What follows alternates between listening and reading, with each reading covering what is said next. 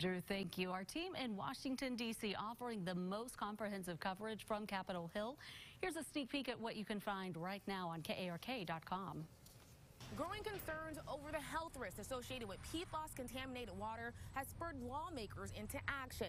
Today, they announced a plan to try to get families the health care they need. You can find that story on our Washington, D.C. Bureau page.